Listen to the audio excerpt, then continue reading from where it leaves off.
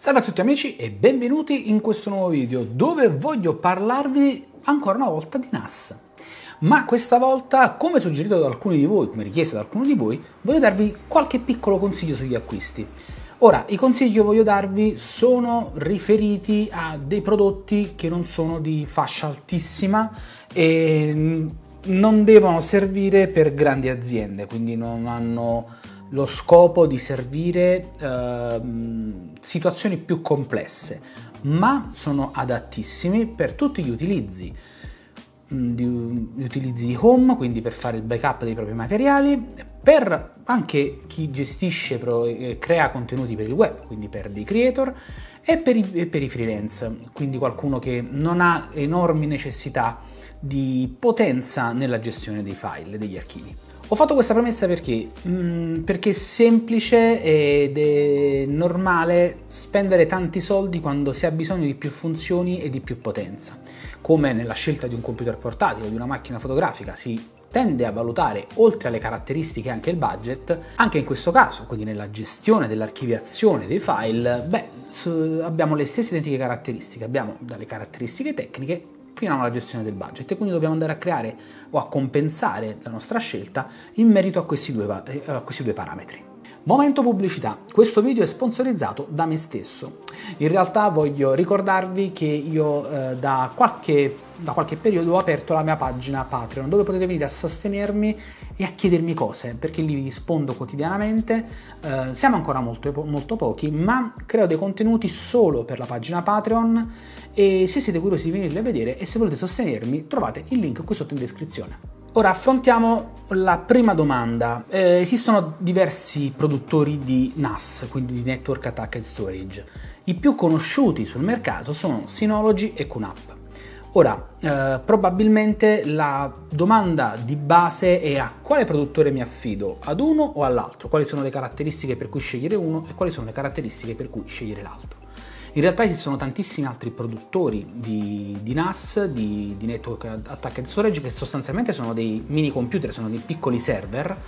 Um, ma io mi soffermo su questi due brand perché sono quelli che portano maggior, la maggior tranquillità di utilizzo al momento per un utente medio. Perché in realtà c'è ancora un'altra possibilità che vorrei affrontare nel futuro, è quello della creazione in casa di un server, quindi costruendolo proprio da voi, creando un NAS da soli con dei sistemi operativi che si trovano in um, licenza open source online. Ma è argomento di altro video. Ora, veniamo a quelli che sono i modelli che per me sono valutabili per Synology e per QNAP. Ora, tra i due brand sì esiste differenza perché uno ha un sistema operativo, l'altro invece ha un altro sistema operativo, entrambi sono proprietari, entrambi hanno su per giù tutti quanti le stesse caratteristiche supportano le stesse tipologie di funzionalità. Uh, io nel mio percorso lavorativo ho utilizzato sia Synology che QNAP e al momento mi trovo meglio con QNAP, mm, forse però perché sono molto più abituato al software eh, di QNAP perché lo utilizziamo in ufficio con il server più grande, quindi sono stato costretto ad utilizzarlo molto di più e quindi mi si sono abituato molto di più. Dall'altro lato con Synology io ho creato grazie a un altro piccolo NAS, un server FTP perché lo, ho trovato la gestione delle impostazioni molto più semplice con Synology rispetto che con QNAP, ma in realtà è probabile anche che sia stata una mia mancanza non riuscire a trovare una soluzione veloce per arrivare alla, al risultato che volevo ottenere. Quindi ho trovato più velocemente delle impostazioni su Synology piuttosto che QNAP e viceversa in altre circostanze, al contrario, sono stato più veloce su QNAP rispetto che con Synology. Quindi voglio mh, mm, elencarvi quattro modelli di quattro NAS differenti in realtà sono due categorie, ehm, un modello per brand e voglio parlarvene molto velocemente semplicemente perché eh, e voglio illustrarvi tutti e due perché li ritengo entrambi validi. Eh, ho utilizzato 3 su 4 di questi, eh, utilizzo 3 su 4 di questi NAS. Allora, partiamo dal presupposto che i NAS possono avere, sono come detto dei piccoli server e portano all'interno delle memorie e abbiamo la possibilità di trovare dei NAS sul mercato che abbiano uno slot per un solo hard disk, due slot, quattro slot, 6, 8, 10 e così via. Um, la realtà dei fatti è che quando si parla di utilizzare un NAS abbiamo due necessità grandi per cui lo utilizziamo. Uno è per l'archiviazione e il backup di sicurezza e l'altro invece per la condivisione. Ora, il termine stesso NAS ci permette, il prodotto in, proprio inteso come NAS, ci permette di attaccare una memoria ad una rete. Questa rete può essere sia interna alla nostra casa, al nostro ufficio, oppure poter condividere esternamente nella nostra rete questi determinati file. Determinati file, determinati link, determinate cartelle o accedere a tutto il NAS. Quindi sono queste le due caratteristiche principali per cui si sceglie un, un NAS. Ora, eh, a meno che non ci siano necessità specifiche, si tende sempre a tenere in considerazione entrambi i valori. Quindi la questione di scambio dei file tramite rete, d'accordo, funziona all'interno di tutti i NAS. Mentre la questione del salvataggio e backup dei file, beh, qui andiamo un attimo a, dobbiamo andare un attimo a ragionarci, perché se prendiamo un NAS con un bay, quindi con uno slot per un solo hard disk, non potremo fare nessuna copia di sicurezza o non possiamo affidarci a nessun tipo di RAID. I RAID, lo ricordo, sono un sistema di gestione dei file ehm, che ci permette di avere delle catene di sicurezza. Abbiamo il RAID 0, abbiamo prima di tutto il JDOB, dove un hard disk viene letto dal computer come hard disk, basta. Poi abbiamo la funzionalità RAID 0, dove se abbiamo più hard disk possiamo sommare la capienza degli hard disk, così da avere un unico hard disk grande. Il problema è che quando andiamo a sommare 1, 2, 3, 4, 5 hard disk avremo una capienza molto più grande e una velocità di banda di trasferimento file molto più grande. Ma essendo che il sistema, il NAS in questo caso, eh, cosa fa? Prende un file e lo mette da una parte, un altro file lo mette da un'altra parte, un altro di qua e un altro di là. Quindi smista in un modo, in un, con, un, con un algoritmo, i file in tutti gli hard disk. Il problema è che non smista il file in sé, ma smista delle porzioni di file per essere molto più veloce nella gestione. Quindi cosa succede? Che noi nel momento in cui per un motivo X perdiamo uno di questi hard disk perché si rompe, abbiamo perso tutti gli altri file. Mentre abbiamo delle, gest- delle situazioni, dei RAID di sicurezza ed emergenza che possono venirci incontro. Come? Abbiamo il RAID di tipo 1 dove a parità di memoria, quindi abbiamo due hard disk 4 tera e 4 tera, disponibili da utilizzare ne avremo soltanto uno perché l'altro sarà la copia dell'altro abbiamo il RAID 5 dove su una catena minima di 4 hard disk ne potremo utilizzare soltanto 3 mentre uno sarà utilizzato come backup. Ora la sto facendo in modo molto semplice, in realtà vengono utilizzati tutti e quattro dischi per il loro 75% e l'altro 25% sarà una porzione di altri dischi.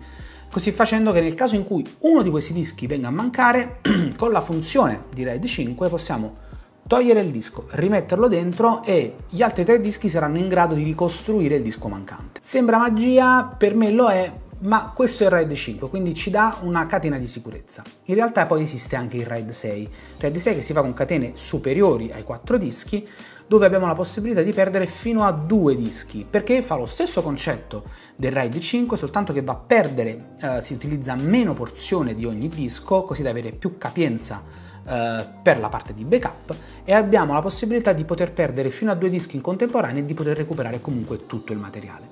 Esistono anche altri tipi di RAID ma diventano sempre più complicati e necessitano di, di molto più spazio e strutture. Quindi, fatto questo enorme premessone, io vi porto due modelli nello specifico, un NAS da 2 bay e un NAS da 4 bay. Perché eh, qui da 2 e da 4? Perché se saliamo oltre 4 costano tanto ed hanno necessità differenti rispetto all'utilizzo home e di un freelance. Mentre mm, un, un NAS da un disco, beh, semplicemente viene a mancare la questione sicurezza per la quale vi porto il contenuto. Ora, abbiamo i dischi sia di Synology che di QNAP. Partiamo da quelli Synology. Allora, io ho selezionato il modello da 2 bay che è il DS220 Plus. Ora, questo modello che utilizzo io in questo momento ha una CPU base Intel eh, abbastanza potente, delle buone prestazioni, ha due porte LAN, fondamentale se abbiamo uno switch di rete, quindi vogliamo collegare il, um, il, NAS con lo switch di rete con due porte, abbiamo una possibilità di poter gestire diversamente i file e abbiamo la possibilità di poter fare il RAID 1, oltre che il RAID 0, quindi unire due dischi. RAID 1 proprio il concetto di avere uno la copia dell'altro dei dischi. Ed è uh, quello che utilizzo come NAS per fare uh, il mio server FTP quindi ho, ho, l'ho impostato in modo che sia aperto all'esterno con il protocollo FTP quindi chi ha le password di accesso può accedere caricare o scaricare i contenuti che vi sono al suo interno. Questo modello che io ho utilizzato anche come media server interno in casa per un bel po' di tempo, eh, poi l'ho, l'ho, spostato come server FTP proprio perché sono riuscito ad utilizzarlo come server FTP, ho cambiato il NAS che ho in casa come media server. Ha la possibilità questo eh, DS220 Plus, come tutti gli altri che vi citerò, di poter installare ad esempio Plex. Plex è un'applicazione di terze parti che ci permette di creare il nostro media server un po' come fosse un nostro home Netflix, quindi carichiamo noi i nostri contenuti ehm, e possiamo rivederli anche tramite web. Quindi anche per esempio c'è l'app di Plex, noi possiamo collegarci al nostro server e guardare i film, i video che ci sono sopra. Oltre a questo, naturalmente, con il sistema operativo di Synology abbiamo tutta la possibilità di creare cartelle condivise, creare sottocartelle, mettere i file, creare dei link condivisibili con cui le persone possono scaricare direttamente dal nostro server e quant'altro. Quindi tutte queste funzioni non le vado ad elencare semplicemente perché le do per scontate che questo prodotto le faccia. Questo tipo di NAS ha tutte queste funzionalità, quindi gestione del backup almeno al RAID 1, abbiamo la gestione di link esterni, abbiamo tutta una gestione interna per quanto riguarda la parte di, eh, di, organizzazione dei file, abbiamo degli antivirus che possiamo installare, alcuni a pagamento ed altre funzioni invece sono gratuite. Questo perché è importante? Perché ci sono stati e ci sono sempre dei momenti in cui ehm, vengono attaccati tutta una serie di, eh, di NAS di grandi brand dove provano a fare degli accessi forzati e grazie a questi antivirus e anti-malware riusciamo a bloccarli per tempo perché altrimenti rischiamo che siamo, possiamo essere vittime di, di, attacchi di phishing dove ci vengono bloccati tutti, di ransomware scusatemi, dove vengono bloccati tutti i dati, ci viene chiesta la cauzione per poter pagare, per avere la password, insomma è un problema che è stato, eh, può succedere, può nascere, nel 2021 ci sono stati dei momenti di attacchi su QNAP forzati davvero tantissimi, altri su Synology, altri su anche altri brand come per esempio VD ha eh, i, suoi, i suoi NAS e anche loro hanno avuto lo stesso identico problema, quindi c'è tutto questo mondo e quindi avere un sistema di sicurezza è piuttosto importante. Questo era il modello da 2 bay che vorrei subito recuperare quello che è il costo, vi lascio il link qui sotto in descrizione di Amazon, quindi leggo quello che al momento trovo eh, come prezzo che è 3,99 su Amazon ehm, ed, ed ha installato, no, quello che vi, vi elenco naturalmente è il NAS senza dischi all'interno, quindi i dischi vanno comprati separatamente, ve ne eletto qui sotto qualcuno in descrizione, da 1 tera, 2 tera e 4 tera. Naturalmente anche quando si va a scegliere un disco bisogna scegliere un disco dedicato ai NAS. Anche qui per gli hard disk meccanici esistono i dischi creati appositamente per NAS perché sono dischi creati per rimanere accesi sempre. Quindi il NAS non va mai spento e mh, proprio per questo motivo, perché i dischi sono, uh, hanno tutta una tecnologia di assorbimento delle, uh, delle, vibrazioni che serve a farli rimanere sempre accesi, quindi sono prodotti nati per questo. Vi elenco qualcosa a questo in descrizione. Quindi questo modello da 2 bay uh, lo troviamo a 3,99 su Amazon e vi lascio il link qui sotto in descrizione. Passiamo adesso al modello da 4, te- da 4 bay, sempre di Synology. Questo non l'ho mai provato, in realtà cambia poco rispetto al modello precedente, si alzano un pochino le prestazioni perché c'è la possibilità di installare, mm, ci sono degli slot per SSD per installare un SSD come cache, eh, adesso vi spiego il concetto, e il modello si chiama il DS420 Plus, dove abbiamo ben 4 bay per 4 dischi differenti. Ora con 4 bay abbiamo più di una possibilità, possiamo fare il RAID 0 come detto dove sommiamo tutti i dischi, possiamo fare un doppio RAID 0 e RAID 1 che si chiama 0 più 1, quindi possiamo prendere due dischi, due dischi e unirli a RAID 0 entrambi e poi fare RAID 1 e RAID 1 di questi due ehm, dischi RAID 0. Un po' contorto come concetto ma c'è questa possibilità. E ehm, quindi sempre lo stesso concetto avremo una copia di un'altra copia. Ma se mettiamo 4 dischi da 4 tera noi in teoria dovremmo avere 16 tera di disponibilità considerate sempre la metà, di due dischi si fa 4 più 4 diventano 8 in RAID 0, gli altri allo stesso modo e poi 8 tera eh, di RAID 0 e 8 tera di RAID 0 si fondono in RAID 1 e avremo 8 tera disponibili, un unico grande hard disk, comunque backuppati su una loro copia.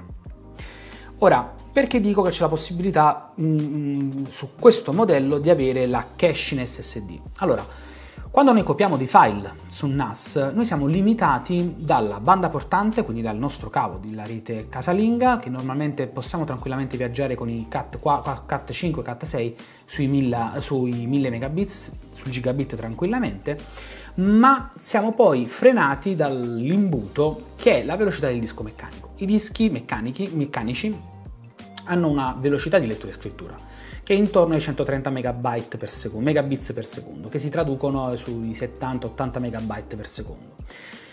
Questo è il loro limite. Ora, se uniamo i dischi RAID 0, dico che abbiamo più velocità perché dovendo scrivere un pezzo da una parte e un pezzo dall'altra, abbiamo il doppio della lettura e scrittura, quindi abbiamo il doppio della velocità ma se andiamo a lavorare in RAID 1 lavoreremo con la velocità dei, dischi, meccanici, ma, eh, dei dischi meccanici, ma anche in RAID 5 o RAID 6, stesso concetto, si velocizza di un po' ma non è come il RAID 0 che è molto più veloce.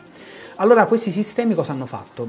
È possibile installare dei, delle SSD M, 2 NVMe in pratica, anche piccolini da 128 GB ad esempio, e utilizzeranno questo SSD come copia, come uh, cache di copia, dove se noi dobbiamo copiare sul nostro NAS 50 GB, in realtà quando noi li copiamo li copieremo sull'SSD, che è molto più veloce, e poi dopo sarà cura del NAS andare a prendere quel materiale su quegli SSD e copiarlo sugli hard disk di, mm, di memoria e quindi utilizzeremo come tampone questo SSD e in questo modello è possibile installarli.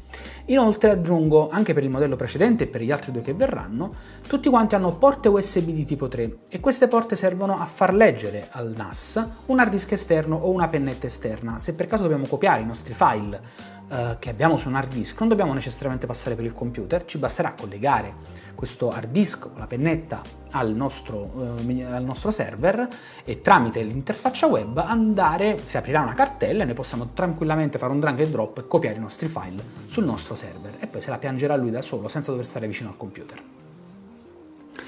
Quindi questa è il, la versione da 4 bay che io consiglio ai professionisti, almeno al freelance che ha bisogno di un po, di, un po' più di spazio, un po' più di sicurezza, con RAID 5 si ha più spazio e comunque una, una discreta sicurezza, um, che ci permette di poter lavorare.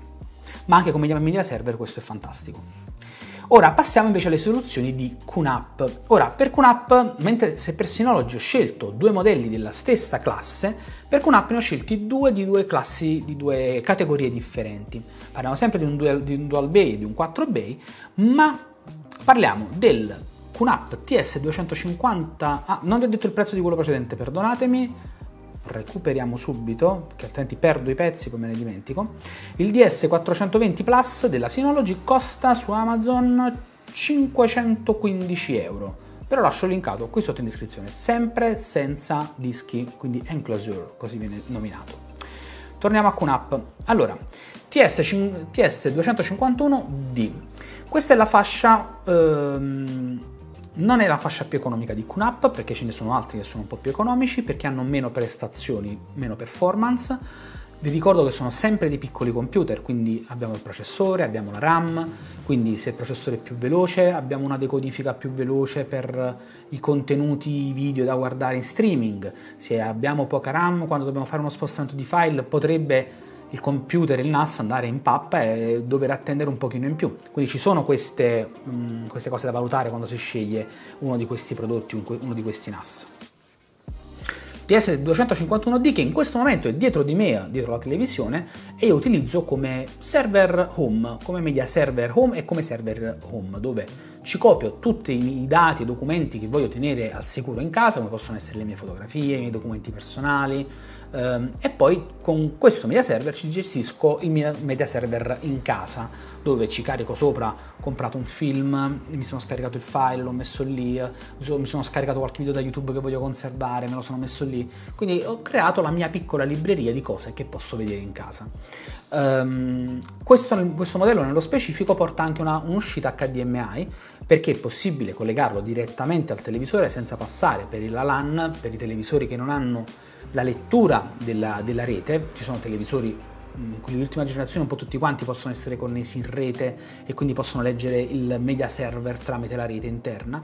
Invece questo ha la possibilità di essere attaccato tramite HDMI, si collega un mouse e una tastiera alle porte USB che sono presenti qui ce ne sono in verità più di, uh, di, due porte USB, abbiamo quella per la connessione dati e due per una per mouse e una per tastiera e in realtà si può proprio controllare come un'interfaccia dal televisore nel caso in cui avessimo un televisore un pochino più vecchiotto, avessimo la necessità di doverlo controllare in questo modo. Eh, anche questo, versione 2 bay e nulla di magico in sostanza, io l'ho comprato, ho scelto questo modello ehm, perché aveva un processore un po' più veloce per poter gestire i, i, i file video in 4K per potermeli riprodurre. Mentre per il 4 bay ho scelto il TS401 Plus quello di prima è il 251D in realtà io avrei dov- volevo parlarvi del 251 Plus ma rispetto al D il Plus è un po' più lento, ha un processore più lento per la decodifica hardware, quindi la decodifica dei file in 4K se vogliamo vederli. Per questo ho scelto il 251D perché come media server è molto ma molto più interessante e parliamo del costo, paradossalmente questo costava anche meno. Um, ehm, 251D, che vado subito a dirvi il prezzo, l'ho comprato da poco, in realtà ne ho parlato in qualche video probabilmente un mesetto e mezzo fa, costa 288 euro su Amazon e adesso andiamo a parlare del TS451 che invece ha 4 bay. 4 bay, 4 spazi, eh, stesso, stesso discorso, non vado a ripetermi che per il Synology. Questo per esempio lo utilizzo come, mm, come NAS server per una parte eh, dell'ufficio. Quindi nel, nella parte dedicata al lavoro che facciamo noi eh, c'è questo media server qua che è un pochino più piccolo rispetto a ne abbiamo un altro molto più grosso questo è un pochino più piccolo, ma per la mole di lavoro che noi facciamo su questo media server, questo è più che adatto. In realtà questo lo utilizziamo esclusivamente per il RAID 5 per tenere backup del materiale, ma non ci lavoriamo più sopra. Una volta eh, lavoravamo direttamente sui server, oggi invece lavorando molto in remoto, lavoriamo molto di più con situazio- soluzioni cloud piuttosto che con il server in ufficio perché non abbiamo le persone attorno, quindi non possono tutti quanti accedere allo stesso server eh, e quindi lo utilizziamo letteralmente soltanto per il RAID 5 per tenere archivi, in archivio il materiale fino a che non dobbiamo archiviarlo definitivamente. Uh, questa è una soluzione davvero ottima. Io questo qua è il primo che ho comprato e lo avevo come media server. Tutti quanti sono passati come media server in casa ed era una bomba perché questo è bellissimo e potentissimo. Mi ci sono trovato da Dio. Mi dispiace tenerlo in ufficio a lavorare e non utilizzarlo tanto, ma per le sue caratteristiche e per la sua completezza preferisco tenerlo lì, mi dà più sicurezza. E questo modello da 4 bay costa, vediamo su Amazon, questo quasi quasi me ne compro un altro di questi perché è interessante, avrei dovuto tenere tutte le pagine aperte ma non l'ho fatto, sono stato come un cattivo bambino, non costa neanche tanto, costa 421 euro, ma attenzione, come detto tutti questi uh, server hanno la RAM di base, viene installata normalmente 2 GB di RAM, io sul mio modello ho comprato 8 GB di RAM separatamente, sempre della QNAP e gliel'ho installata vi consiglio di comprare il modello da 8 GB di RAM perché eh, necessita di 8 GB di RAM. Ha bisogno proprio di, di aria perché altrimenti nelle operazioni di copia RAID 5 tra i vari dischi e a volte ne facciamo tante operazioni contemporaneamente, la macchina all'inizio mi andava, mi andava, mi andava molto lentamente. Invece adesso, avendo messo 8 GB di RAM, funziona da Dio. Uh, c'è il modello da 8 GB di RAM con la 8 GB di RAM già preinstallata e costa 650 euro su Amazon. Io probabilmente vi consiglio di prendere il modello da 2 GB e comprare la RAM eh, compatibile, basta fare qualche ricerca, si trova, da 8 GB da poter installare in questo modello. È facilissimo l'installazione della RAM, c'è anche la guida, eh, tanto alla fine si smonta, c'è la vitina, si, si sdita, si mette la RAM e si riavvita. È semplice, non è molto complicato, ma io vi consiglio di farlo perché è importante. Ora, perché nel mercato molti scelgono ehm, Synology piuttosto che QNAP o QNAP piuttosto che Synology. In realtà nel mercato QNAP è sempre stata un pochino più economica a parità di eh, prestazioni con QNAP. Perdonatemi, QNAP è sempre stata un po' più economica rispetto a prestazioni con Synology ed è sempre stata quella che QNAP ha aggiunto sempre qualche funzione in più. Ad esempio di QNAP troviamo anche i, i NAS con Thunderbolt 3, Thunderbolt 2, usciti molto prima rispetto a quelli di Synology. Ehm, per questo QNAP è sempre stata un po' più all'avanguardia, su quei prodotti si fa pagare, ma a parità poi di componenti e di prestazioni con Synology è sempre stata un tantino più economica. Mentre Synology ha sempre dato un'enorme sicurezza sia del brand che dei prodotti e dell'affidabilità, eh, cosa che da anche QNAP assolutamente no, non ho mai avuto problemi. In realtà non ho mai avuto necessità di assistenza con entrambi i brand, quindi non conosco l'assistenza come si comporti con entrambi. Sicuramente se prendete tramite Amazon, tramite Amazon siete sicuri che avete un, un, canale di assistenza privilegiato tramite loro, perché vi, sicuramente possono aiutarvi nella gestione di, di un qualsiasi problema. Quindi io sono arrivato alla fine di questo video che è venuto piuttosto lungo, speravo fosse più breve, ma volevo eh, comunque darvi tutti i concetti e per me era fondamentale eh, spiegarvi tutti i concetti per la scelta di un vostro primo NAS. Insomma, io vi ringrazio di aver visto questo video, se il video vi è piaciuto mi raccomando lasciate un mi piace, sono disponibile qui sotto nei commenti se volete parlarne. Uh, vi ricordo di iscrivervi al canale se ancora non l'avete fatto, di seguirmi su Instagram e di venirmi a sostenere anche su Patreon. Io vi ringrazio per la visione, cos'altro dirvi? Noi ci vediamo prossimamente con un nuovo video.